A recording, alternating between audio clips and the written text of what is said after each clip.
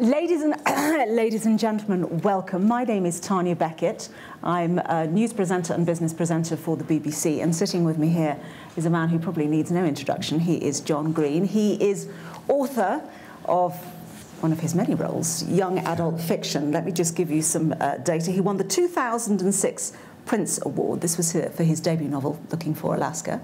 His sixth novel, which is uh, The Fault in Our Stars, was actually number one at the box office in 2014. It was uh, made into a film.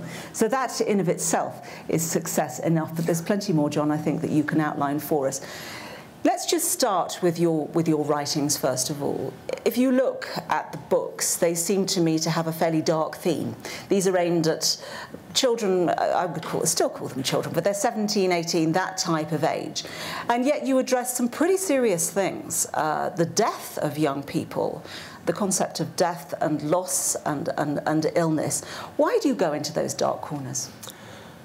Well, I think um, I, because I think it's a big part of life, and I think that it's a big consideration for young people. Um, although not just young people, it turns out that death is sort of an ongoing uh, concern.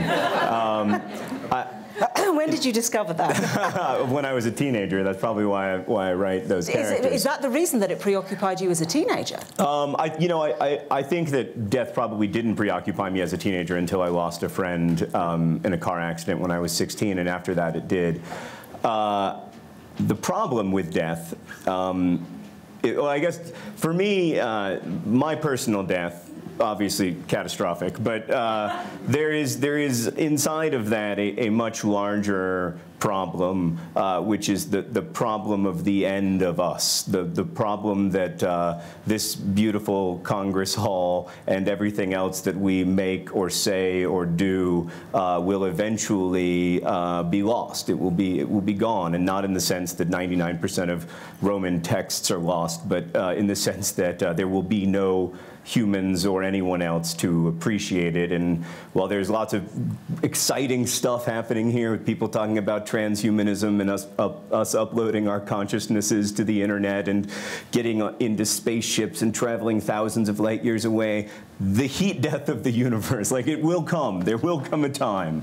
And, um, and, and that idea that everything uh, you know, everything that comes together falls apart. Everything uh, that, that, that, in a way, to be uh, is to know that you will one day not be, um, is a really important and difficult idea to get your head around. And I don't, and I think if we have a worldview that doesn't acknowledge that, um, we end up uh, we end up either sort of sticking our heads in the sand or else being on the wrong course.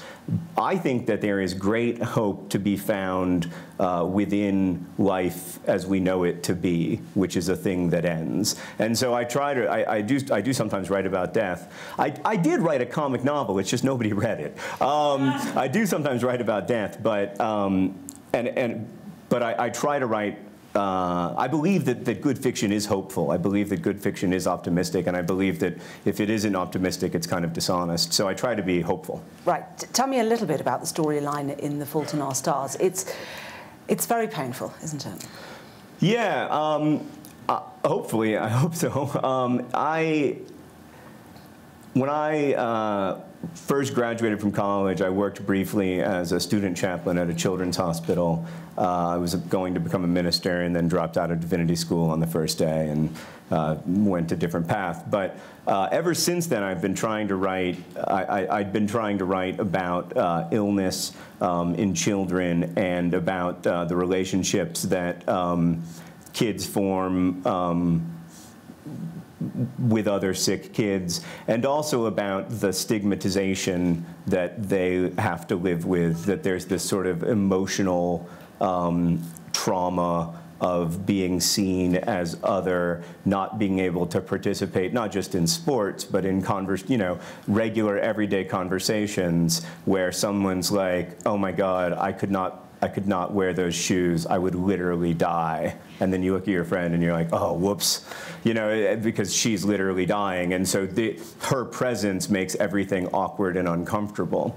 Um, and I, eh, that, that, that social uh, stigma really fascinated me because most of the stories that we have, and we have tons and tons of cancer, I mean, it's a genre essentially, the, the cancer romance, um, in which uh, the first one was Love Story by Erich Segal. I don't know if you remember that book, but uh, basically, you fall in love, somebody gets cancer, the healthy person learns important lessons about how to be grateful for every day. In that book, the healthy person learns that love means never having to say you're sorry. That was the famous line from that book, love means never having to say you're sorry, which is the most ludicrous definition of love.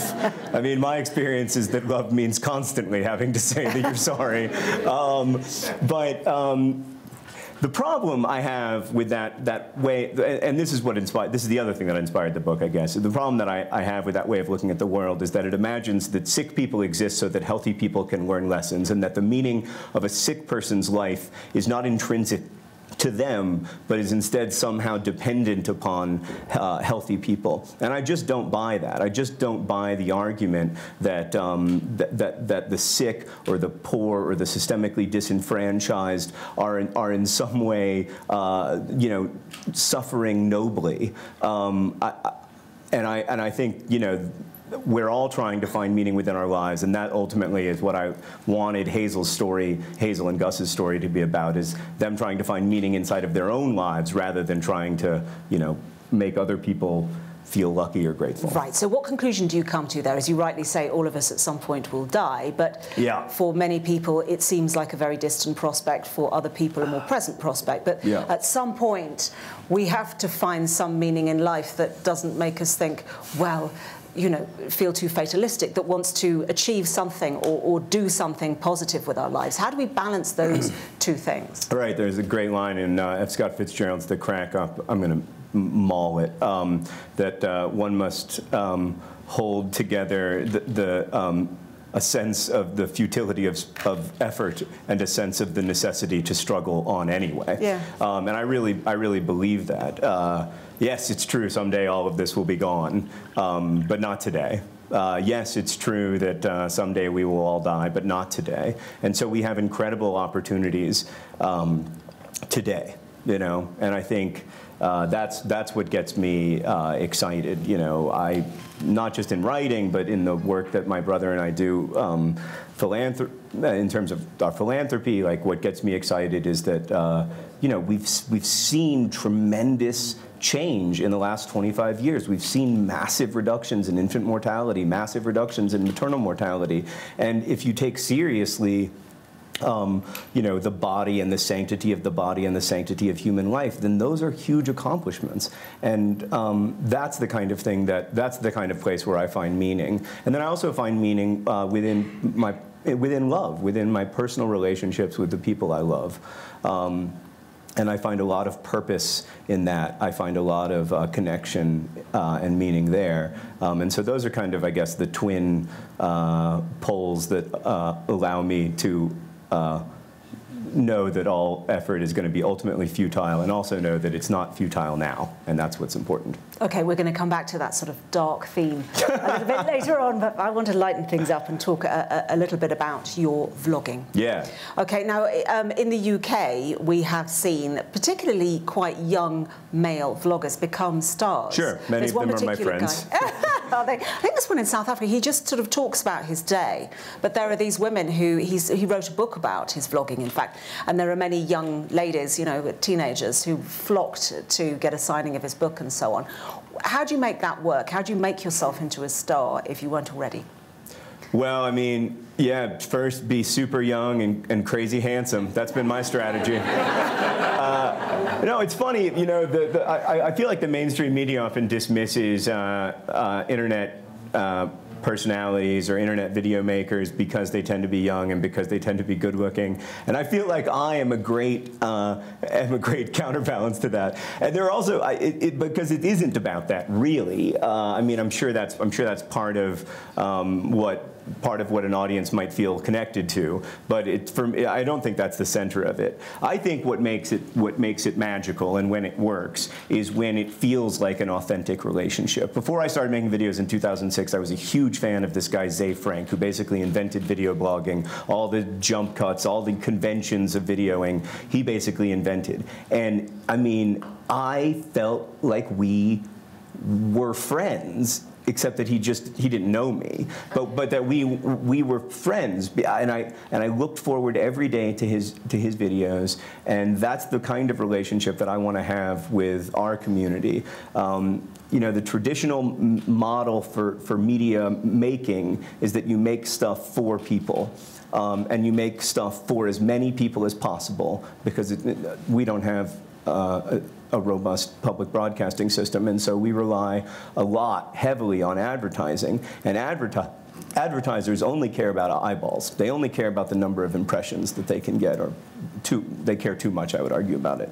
So in traditional broadcast, in traditional media, you want the biggest possible audience, um, and and that's and you want them to think of you as separate as someone who's making something for you that you like and with online media uh, i don't feel like i'm making something for my viewers i feel like i'm making something with them and that's literally true in the sense that when they comment on a video they change the video page they reshape the, they reshape the context in which the video is being viewed um, but it's also figuratively true in the sense that they inspire every video idea that I have. They're the ones asking the questions. If they say, I, you know, uh, in comments, I don't understand what's going on with the deficit and is the, is the stimulus a good idea? Then that gives me the opportunity to make a video about you know, debt to GDP ratios and stuff. So that sense of doing things with an audience rather than for an audience is the first thing that I think is the key to uh, online media success.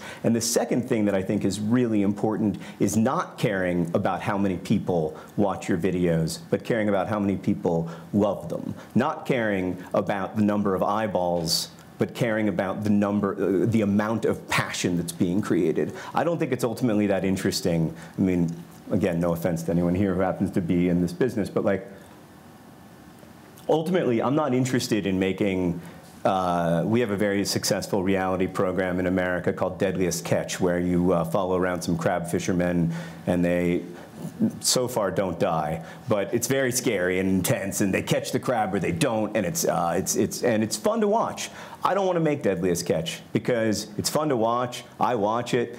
Millions and millions of people watch it, but I don't love it. I wouldn't buy a Deadliest Catch t-shirt, you know? I wouldn't go around advertising my affection for Deadliest Catch. I wouldn't put in my Twitter bio, you know, author, YouTuber, Deadliest Catch fan. Um, and I want to make the kind of stuff that may not appeal to the broadest possible audience, but will have that kind of depth of engagement where someone will say on their Twitter bio, you know, that they're a nerdfighter, or they will say on their Twitter bio that they love my books or love Crash Course. We have that one on, you know, the ice truckers. Yeah, same thing. Yeah, we yeah. have that. Yeah, it's the same. Yeah, That's similar. Got, I mean, it's like if somebody but, came with a TV proposal to me and said, "This is what we're going to do," I was like, "Okay, I think you need to get help." And, and then you watch it and you think, "Oh, well, that's not good." It's quite, it's quite, it's quite watchable, but well, it's, it's, not it's so. people in adversity. It's, it's a slightly different thing that, that I think, from a television point of view, that you're creating, isn't it? That, that's the. Yeah, yeah, yeah. I'm, so I'm not tell trying me, to. Yeah. when we're talking about televisual matters, you're very interested in education. Yeah. Talk to me about how you create um, these, these educational videos and what it is you're trying to do, and what you think is important to educate young people about. Well, that's several good questions. Um, that I might forget one of. So okay, well, let's start. What, you, what, right. what, are you going to educate people about? What do, young people? What do you think is important? So in 2011, YouTube uh, offered us some startup capital to make proper educational video with animation and curriculum consultants and educators and scripts and teleprompters and, um, you know, traditional TV costs. I don't know what it costs actually, but we were we made the first season of Crash Course for about $150 a minute, um, which was you know, $149.50 a minute more than uh, we'd ever spent on online video. Um, and so instead of it just being me in my basement, suddenly there were some people to help us out. And, um, and I started out uh, kind of introducing world history, um, tied a little bit to the AP curriculum in the U.S., the sort of upper level high school curriculum in the U.S. And my brother started out um, introducing ideas in uh, biology tied to the AP curriculum.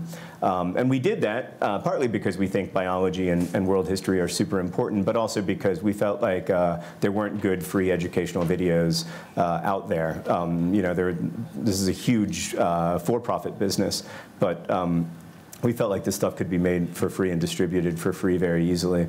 But, but to your question about what is important to teach, uh, I, our approach with Crash Course, we try very hard not to um, teach subjects just because they're in school. Like I have a huge problem with the current way that, uh, with the way I was educated, with the way I think most kids in the US at least are educated these days, which is that school is treated as a series of arbitrary hurdles that have been set up in front of you that you are told that you need to jump over in order to get a piece of paper that says that you can jump over some more arbitrary hurdles in order to get a piece of paper that says that you can get a job. And that this is the reason that you are educated is so that you can get a job. Um, when in fact, I think the reason that like as a social order we've invented public education is because we sort of decided as a group that a well-educated population is, is better. It's better for us. Uh, it's not just better for students, it's better for adults. Uh, the reason I pay taxes for schools even though I don't have a kid in school is because uh, it's better for me to have a well-educated population of Americans. Um, but when you treat it like it's just like, why do you have to learn math? Because you have to learn math. Why do you have to learn biology? Because you have to learn biology to get the degree. Why do you have to, you know, why do we have to read Wuthering Heights? Because you have to read Wuthering Heights to get the degree. Instead of saying, why do we have to read, what, well, Wuthering Heights isn't a great example, actually. Why do we have to read, uh, why do we have to read Pride and Prejudice? Because it's a great novel, mm. because it's going to help you in your life, because it's going to help you to understand the world around you, because you'll get the Jane Austen jokes that you don't currently get, because, uh, because it'll, it'll make you a better boyfriend, right? Because, and that, so we try to approach it from that angle. Like, why do you learn history? Because it will make you a, a, better and more interesting person, and it will allow you to contextualize your life and the world around you better, which in turn will make you a better participant in civic society, will make you a better, uh, and, and, will make you more money in the long run, and will be good for the economy in the long run. Okay. So that's the approach that we try to take. All right. Let me um, ask you also about. Um, gosh, I've forgotten the question I was going to ask now. Sorry. that sometimes happens. I'm completely wrong-footed.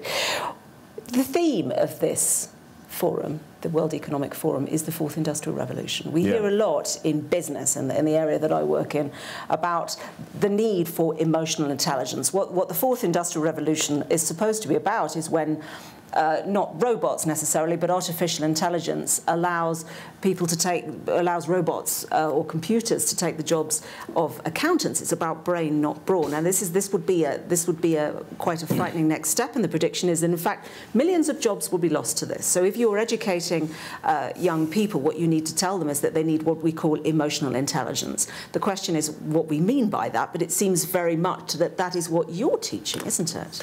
It's certainly what we want to encourage in the classroom. So, I mean, Crash Course is not intended to replace classroom experiences precisely because I think that so much Crash Course is the name that you Yeah, sorry, that's the name of our channel. Um, precisely because I think that so much of the like emotional intelligence uh, is learned in school. Uh, it's learned from peers, but it's also learned from sort of modeling by, by teachers. And I'm, I, I can't replace that, and I also don't want to. Um, maybe there will be robots that can replace it someday, but not I'm not, that's not, that's not going to be my life um, or not my job, you know.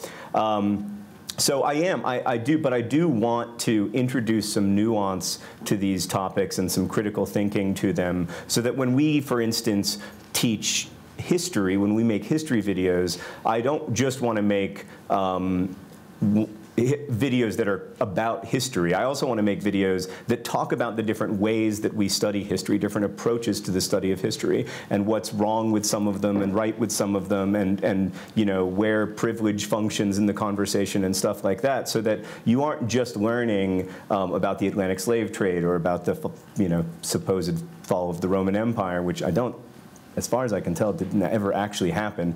Um, but instead, you're learning about approaches to the study of history. Why, why you know, why, why did, you know, why did this historian write this way? And that, those critical thinking skills, um, hopefully, will be useful in this future job market. I do think that those are going to be important.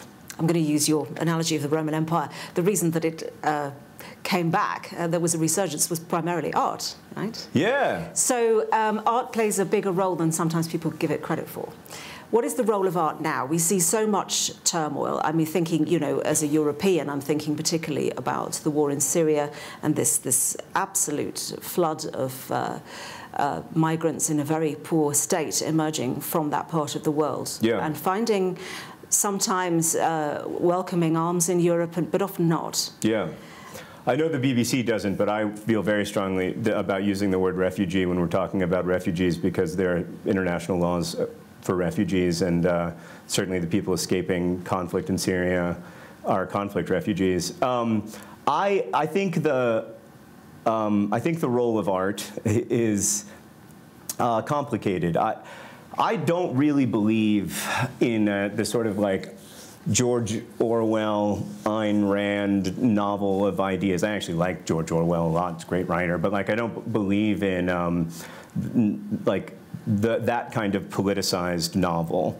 Um, so prediction of the future, in a way. Yeah, well, the I mean, Orwell, Orwell just turned out to be very prophetic. But at the time, it was a, you know, a highly politicized novel making arguments about uh, communism and totalitarianism uh, at a time when it wasn't clear to lots of, you know, when at a time when lots of people were communists and lots of people thought totalitarian governments were the right solution. Um, and I, I don't. I, those novels. Those novels can have an impact. Uh, to me, the but to me, the most important and interesting thing that art can do uh, is to be a way into empathy. Um, is a it, it, it's a it can help us become more empathetic. It is incredibly difficult when we think about the conflict in Syria, or when we think about re refugee crises in South Sudan, or we think about um, you know conflict in other places in the world. It is so so, or even when we think about ISIS uh, and and people uh, people living um, in, in that part of Syria and Iraq, it's so hard for us not to imagine those people monolithically because we don't know in many, we very rarely know their individual stories. So we tend to see them as blocks. We tend to see Islam as a, as a block, as one thing, and fail to appreciate the astonishing, you know, millennia-old diversity uh, within uh, Islamic tradition, uh, and we and we when we do that, uh, we dehumanize people. We're not seeing them as individual people who are like us. We're seeing them as other. We're seeing them as a them.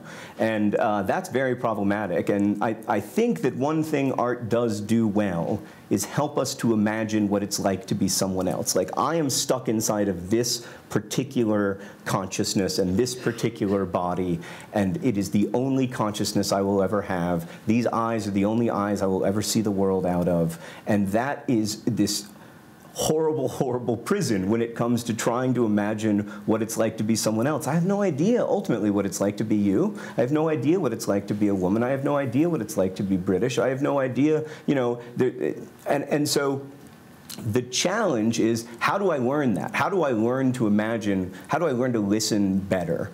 Um, and I think art is a good way to do that because when I read a story that I love, like when I read Catcher in the Rye, I don't read it and think like this is me uh, reading about Holden Caulfield, I feel like I'm living inside the mind of Holden Caulfield. I feel like I've escaped this prison of myself and I'm able to live in someone else's body. And that's very powerful for me. And so to me, it's, it's really empathy is at the core of what I'm trying to do. Jolly good. I'm going to open the floor for questions. Would anybody just put your hand up if you have a question you would like to ask? Loads of them. Um, yes, let's just take this one first of all, and then this gentleman straight afterwards, if we may. I'm sure there are questions here too. Uh, Jen Hyatt, uh, global uh, Schwab social entrepreneur. Um, my daughter Kate would just be in awe that I'm sitting in the same room with you. Um, I asked her recently why she was uh, so obsessed with your novels, and she just said, simply, Mum, there are no happy endings and I think that that's I think that's that's amazing, and the, your commentary on emotional intelligence is, is profound. Turning to something like Paper Towns, I'm also quite interested in your view on yeah, both of those central characters in that. Uh, really, I see as rites of passage in different ways, where they have a relationship, different kinds of relationship to risk. Uh, and risk is, is, is profound for both of them, but very different. And one might see that Margot is the risky character, but actually possibly not. I'd be really interested in your reflections on self and risk in the fourth in the fourth revolution for, for, for teenagers. Yeah, that's a big question. I mean, I think um, I'm very interested in how we identify the self uh, in this contemporary world. You know, in, in a digitized world where the self that we uh, project you know, we project different selves online and even on, in different platforms online, and um, and that can. Uh, that can mess with, I think, especially when you're young, with your understanding of like what is the core you, and in general, that whole question of like, wh wh what do I mean when I talk about myself is is insanely complicated, and I've been trying to write about it for the last few years, and we'll see if I ever finish another novel. But um, uh, I, I, do think that um, I do think that people often identify themselves, or, or one of the ways that we understand ourselves is as, as risk-taking or risk-averse. Um, I think there's something about adolescence where you're almost you're attracted to the you know to the flame to the fire. Um, I, I, felt this intense urge to self-destruct when I was a teenager, or to act out in self-destructive ways, um, and I didn't even really know where it came from. But for me, risk was risk was about trying to uh, to establish the boundaries of myself, I guess. Um, and I had a much more sort of Margot worldview than, than Quentin worldview. Um, but I, I, I, did, I, I also, um, you know, got a lot of second chances, which, which most people don't get. Right. I, I think also what's interesting is how different people perceive risk, isn't it? Yeah. Uh, yes, please. Uh, so my daughter Julia is also glad that I'm here to, to, to hear John. Why didn't y'all's kids come? Should, well, exactly. we, should, we, should, we should have, yeah. should have kids with. Yeah. I think we should be FaceTiming them live. That's, that's the real future with. um, John says you are so brilliant at understanding teenagers, which most of us can't, and, mm. and speaking with them and empathizing with them and, and speaking for them.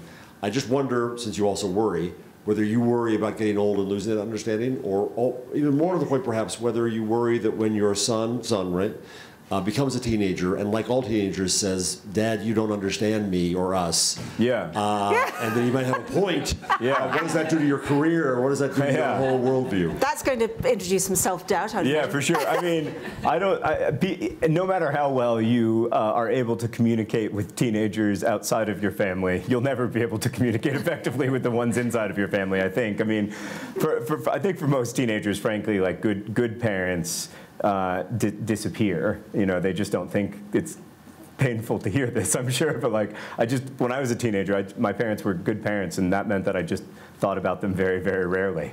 Um, I was not particularly concerned with them in any way. I was very focused on peer relationships.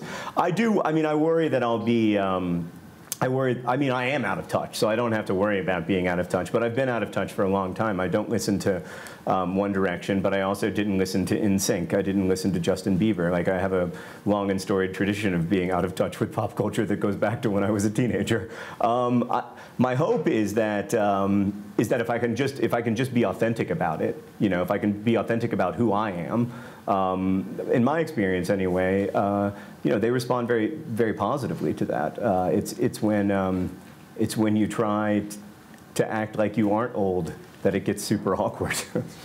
There we must leave it. John, thank you so much. And thank you all very much for being so engaged and listening. I wish we had longer, but we don't. Thank you so much. And I'm very grateful. Thank yeah. you. Thank you guys again.